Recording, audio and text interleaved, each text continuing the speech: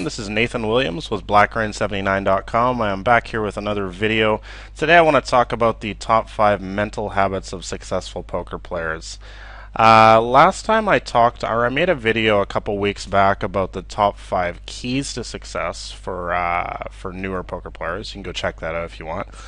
Um, but I wanted to talk about this. This is more geared towards sort of the mental approach of um, of success, highly successful poker players. From what I've seen over the years, uh, from being friends with some of the biggest winners out there, um, and just just um, sort of understanding my own approach uh, mentally, uh, my own mental approach to the game. So let's start with uh, number one there.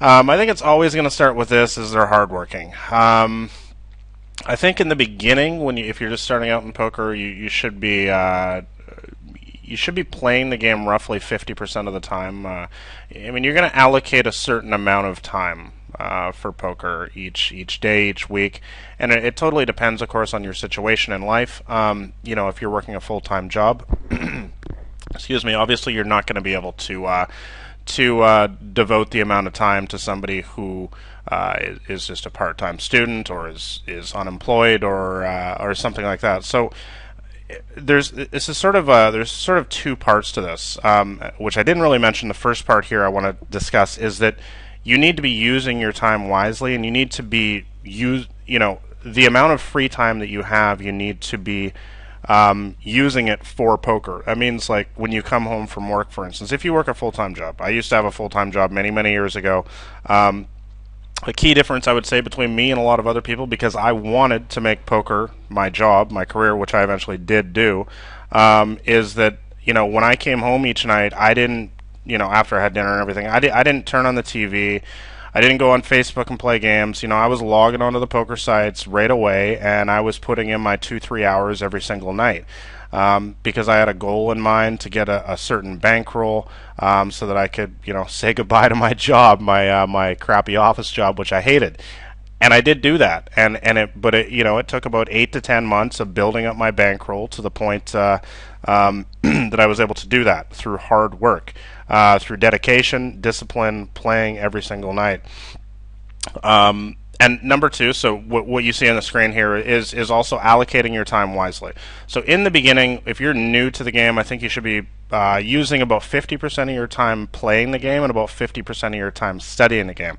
However, once you get um, more you know you've got more experience you, you've climbed the limits a bit um, you know where i was at that point in, in my career I, I had already played probably at least a million hands at that point uh, screwing around part-time for a year or so or maybe a couple years. Um, you know so at that point when you feel like you've developed sort of a, you've got a, a good grasp of the fundamentals and um, you're certainly able to to do well at the very at the lowest stakes for sure. Um, you know, I think at that point you should be spending more of your time playing the game um, I- instead of you know reading books, uh, watching training videos, and stuff like that. So maybe 20% of your time studying and 80% of your time playing. Uh, once you you're uh, you've got a lot of a fair bit of experience in this game, and you're uh, you're not a, a quote unquote newbie anymore. Um, but let's move on to the uh, second point. Um, so another thing that uh, top mental habit of successful poker players they learn from their mistakes. Um, this is a really big one, and you know I'm pretty stubborn sometimes, and you know it's it's taken me. Uh, uh, you know, I've, I've, I mean, I would say that I have learned from most of my mistakes, but in some cases, it's taken me even years. You know, it's embarrassing to admit. Um, but you, you got to look at situations. You know, a classic one is, you know, you've got an overpair.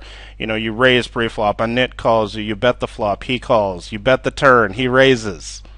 You know, come on, guys. How how many times have we seen? You know, if you continue with the hand, you know he's just going to flip over the set. You know, he, he's going to show you the set. And it took me about, I mean, I'm not trying to, you know, say I'm great at this or something. It took me a, a couple years to finally get it through my thick skull, you have to fold in these situations. So uh, this is why I talk about uh, database review and stuff. I don't want to get into that in this uh, video. There's a huge uh, blog post on my uh, on, on, my blog about database review. Maybe I'll link that below actually. Um, but you, you, need to learn from your mistakes. You know, you need you, so you can go. When I talk about a database review, you can go into your your PokerTracker or your Hold'em manager, and you can filter for these spots. You can filter for a spot where you've got an overpair on the turn and, and you're in a, a, double barrel situation against a, uh, any opponent, really. It doesn't really matter. But I think you can actually fil- filter for certain player types as well. And just, you know, pick a hundred examples and you'll be able to see in the bottom, you know, just how much you're losing. And, you know, you need to be able to make a conscious decision after that, that next time you're in this situation, we're to, you know, you're going to make a, uh, you're, to change your play. You know, you're going to fold, essentially. Let's move on to point number three here. Point number three is being independent. Um, as I write here, at a certain point, the training wheels must come off. That you know, that's what I talked about, sort of in point number one.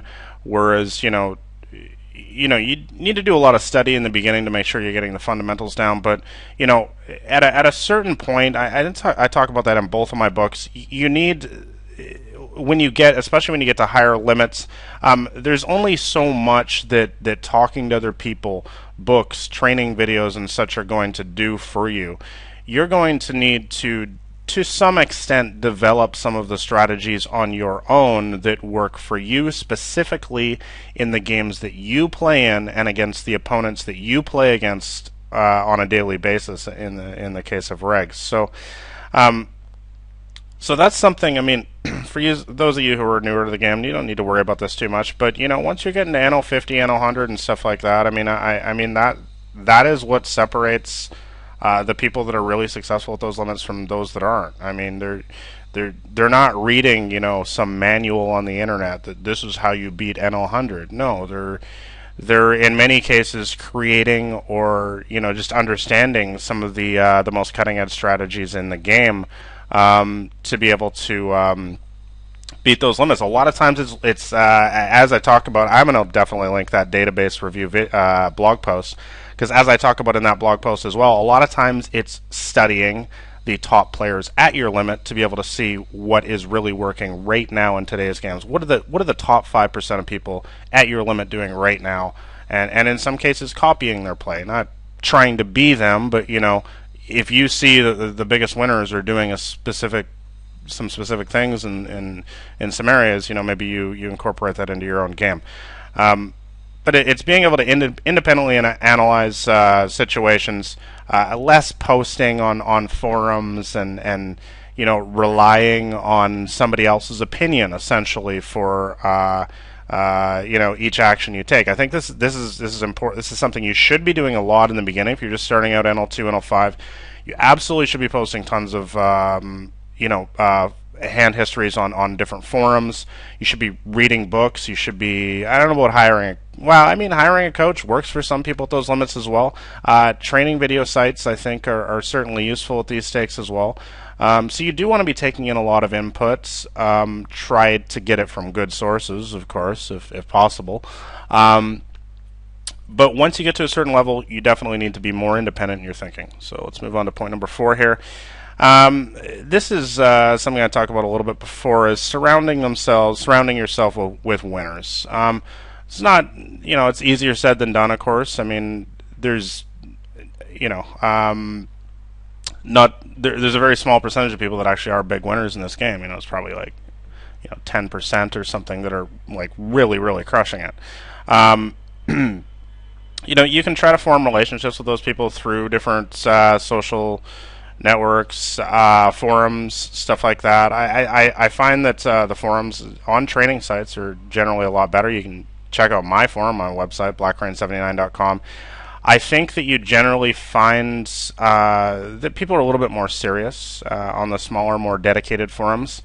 Um, but it's really just finding sort of a circle of people who, you know, I, and I would say people who don't play your limit. It's better. I, I don't think it's a good idea to make friends with all of like the best opponents at your limit because that's gonna you know, when you get involved in a hand with them, it's going to be weird, you know, and you don't want to ever be soft playing anybody or anything like that. So, um, you know, a lot of my um, the biggest friends that I've met over the years, it's it's just kind of, you know, I I always have this sort of mental filter of people who I meet, and it's nothing personal. It's just I don't want to spend my time discussing hands uh, you know, at length with somebody who I know is, you know, a losing or a break even player. It's nothing personal.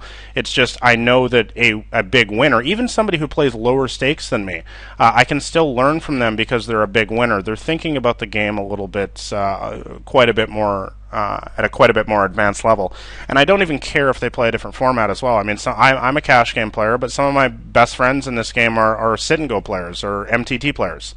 Um, and that's fine as well because I know that they're big winners, and some of my friends, of course, are also cash game players, big winners who play higher stakes, and that's ultimately would be the best. Easier said than done, but the point is, do not surround yourself. If you find that you're discussing hands constantly with people who you know are struggling at these stakes, you're not going to learn anything. Um, I guess it's good for them probably, but it's not really going to be good for you. So cut out the noise. Uh, try to surround yourself with a with a small circle. It's only all, only ever going to be a small circle of uh, big winners, and uh, that's going to help you out a lot.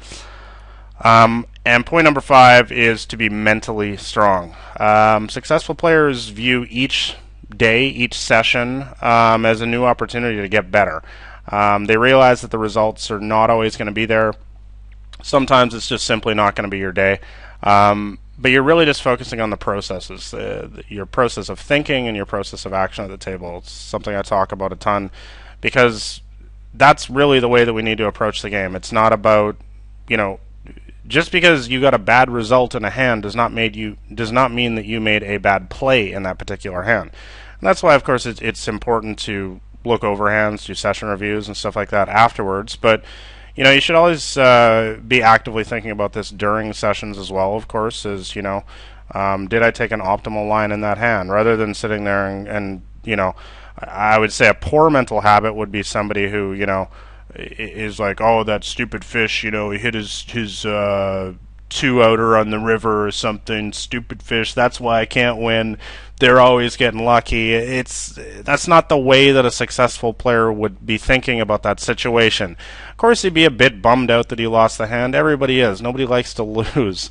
But you know, he's thinking about it. He's like, well, let's analyze my play on each set of streets. You know, from pre-flop to the river. Um, did I make good decisions based on the range that I had him on?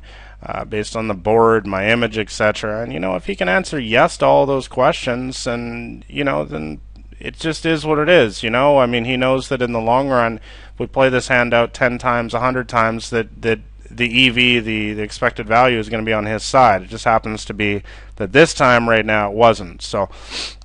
I'm going to end the video at this point. Um, I hope this was useful for you guys. Top five mental habits of successful poker players. Uh, if you guys enjoyed this video, if you found it helpful, uh, please click the subscribe button below this video because I'm going to be trying to put out new videos, hopefully every week, but every second week at least. Um, in the future here on YouTube, of course.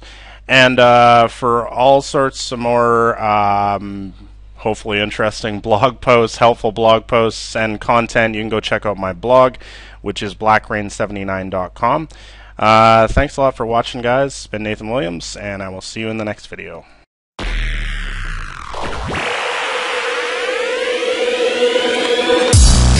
Yeah.